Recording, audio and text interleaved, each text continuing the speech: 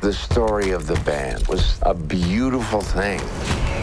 It was so beautiful it went up in flames. 60年代激動のアメリカで唯一無二の存在となった伝説のミュージシャンザ・バンド There is no band that emphasizes becoming greater than the sum of their parts than the band. This didn't sound like anything else. Bob Dylan thought they were phenomenal, so he hired the guys. and then everything stopped.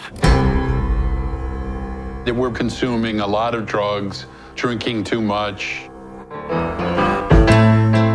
It was beginning to feel like a real fracture. Something got broken, and it was like glass. It was hard to put back together again. We thought, let's come together one last time. The last waltz. If there was any American musicians that were comparable to what the Beatles were, it would have been them. I thought, this is huge. It changed my life.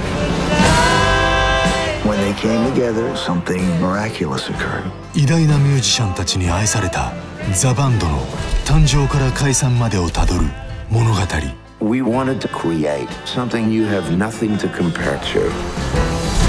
ザ・バンドかつて僕らは兄弟だった